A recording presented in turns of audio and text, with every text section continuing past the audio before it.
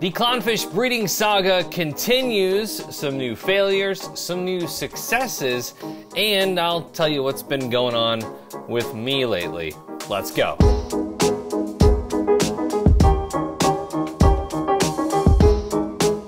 What's up, coral people? If you're new here, my name is Remy, and this is the Bahama Llama Coral YouTube channel. I've got some good videos coming up here in the near future with some cool interviews. Also, the Aquashella adventure is upon us, so that's gonna be starting soon as well. So please like, subscribe, and hit the bell notification so you're notified whenever I upload new videos. Most of you probably haven't noticed a decrease in the amount of videos that I've been posting lately, but some of you might, so I wanted to address that really quick because there is an explanation. About a month ago, my co host on the morning show, I do a radio show for those that don't know in St. Louis, uh, my co host was fired. I am beyond grateful that I got to keep my job. I know this is going to be for the best down the road.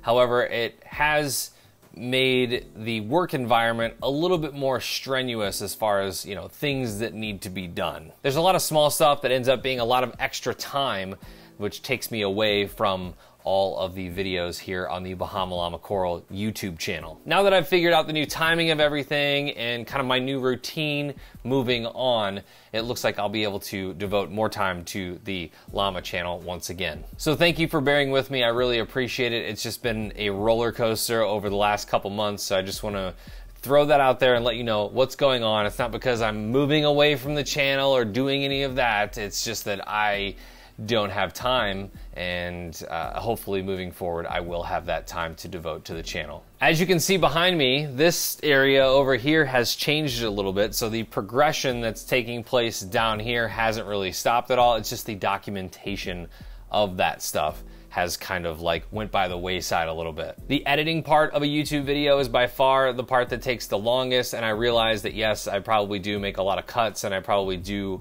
a little bit more than I need to, but I really think that editing and making these things as as uh, cool and as interesting as possible is part of the appeal of this channel and what I would like to continue doing down the road. If I had the extra cash, I would happily pay an editor to do that for me, but I don't, so we must move on. And I will move on now. No more excuses. Let's talk clowns. First question, comment down below. Is there something new that you've started in the reefing hobby this year? Could be a new fish that you've never tried before, or a new size of tank. Maybe that's a Pico tank or a much larger display tank, or maybe a species only tank. Let me know in the comments below. So, my Da Vinci clownfish have consistently been spawning, which is great news because it gives me a lot of attempts at raising these fry. To sum up the first two clutches, nothing hatched. I think I either pulled the pot too soon or I didn't get the aeration right that, you know, the bubbles that go over the eggs to make them move. For the third clutch, I decided that I would try something new. That method I wanted to try was made famous by Robert King, which if you haven't checked him out on Facebook, you should totally do that.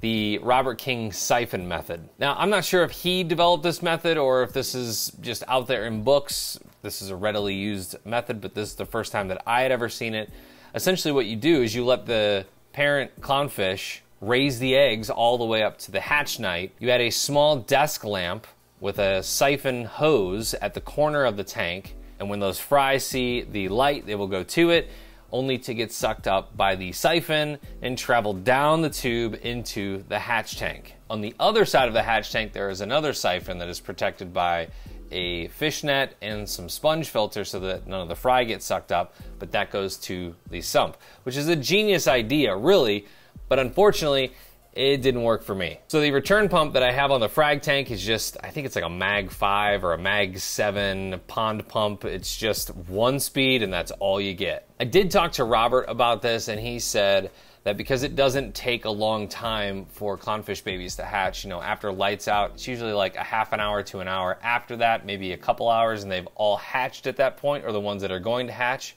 have hatched. So I could always use a smaller pump in my return chamber to pump water in the frag tank and have that still circulating, but it just wouldn't be as high of a flow. Because the problem that I was having was the hatch tank was filling up way too fast and it would have overflowed if I would have left it. And unfortunately, I couldn't just sit down here and babysit it. I may try this down the road because it's kind of a plug and play way for the parent clownfish to just raise them all the way through to the fry stage of their life.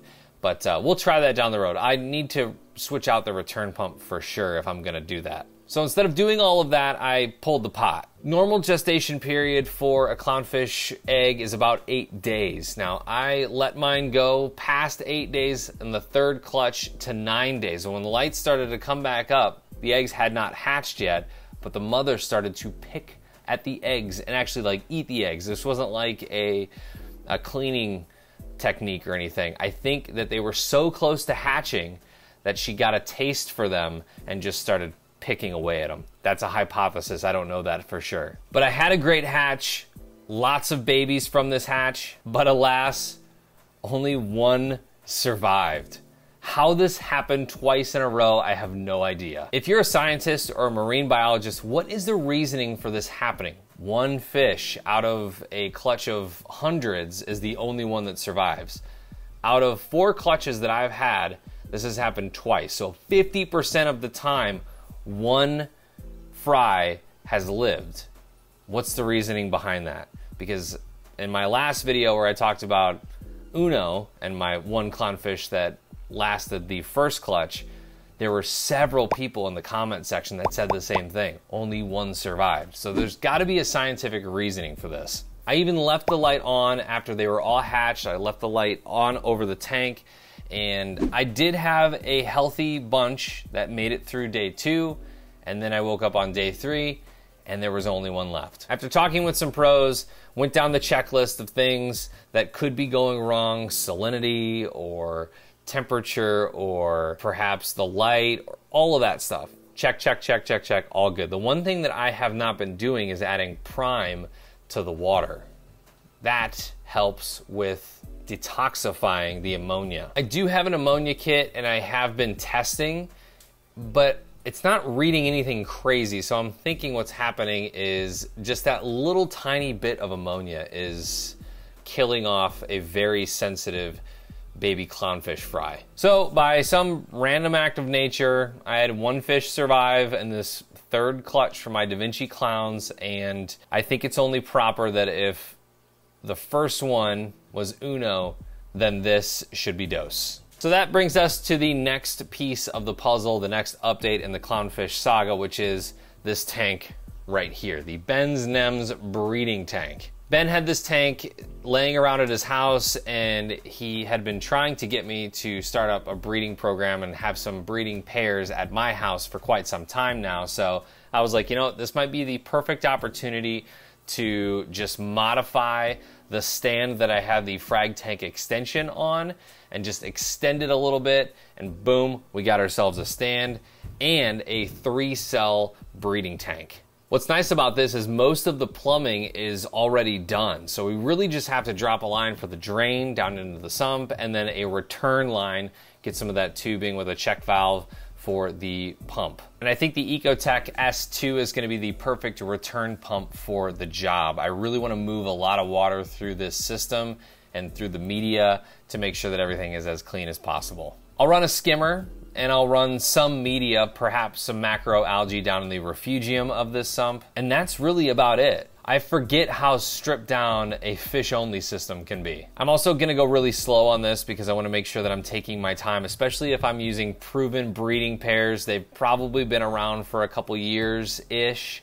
And I just, I wanna take everything as slow as possible to make sure that we don't have any casualties in the process. Preferably, I like to start with the proven breeding pair and then kind of add on as we go. So that's where I'm at as far as clownfish stuff is concerned. I never really thought that when I started this process, I would get so hooked on it that I would want to expand to multiple different pairs of clownfish, but here we are. Now, I promise this channel isn't just going to be clownfish. I'll obviously have a lot of coral content as well and a lot of aquarium content as we look to expand and make this room something different this year. I'm excited for the future. I'm excited to learn more and more each day. It'd be really nice to get 20 or 30 of these little guys to survive, and then I feel like I would have a little bit of a confidence boost. But right now, it's a lot of uh, frustration and just beating myself up for not understanding what I'm doing wrong because I feel like I'm doing everything right, but it's those little tiny, minute things that you might be doing wrong that could just axe the entire plan. If you want to tag along in this journey, please like, subscribe, and hit the bell notification so you know whenever I upload new videos. And please let me know if you're going to be at Aquashella Orlando. I would love to meet up. I'm speaking, I believe, at 4 o'clock on Saturday. That time has been moved a couple times, so just check the program whenever you get there. And would love to meet up. I know I'm going to be at the Sicce booth for a little bit. Uh, we'll be hanging out with the guys from Fritz, like Sean and George. It's going to be a lot of fun, and I cannot wait to see you. Please let me know in the comment section if you're going, and I'll be on the lookout. And if you see me wandering around, please stop me. Say, hey, Remy, let's get a picture. I'm in the middle of writing my talk right now, so fingers crossed that you like it. I had a gentleman reach out who said that he was just at OSA up in Rhode Island, Ocean State Aquatics, and he picked up a bunch of nice pieces and to thank him for the recommendation because he wouldn't have known otherwise.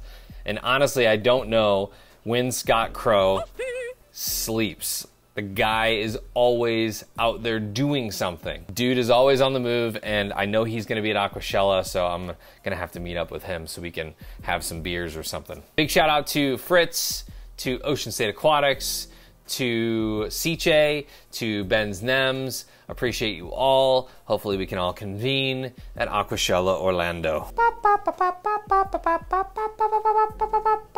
And a lot of people reach out and say, Hey, man, you okay? Doing okay? You gonna put out a video soon? And I was like, I think I'm okay. Wasn't sure there for a little bit. I had to check in on myself. So, uh, happy to be back. Happy to be making videos. And, uh, let's hang out. Okay. Side note, I've been using this uh, video light to light Dos's tank. So, should probably order another light off of Amazon or something. Okay. Well, uh, until next time. uh, be safe and and all that.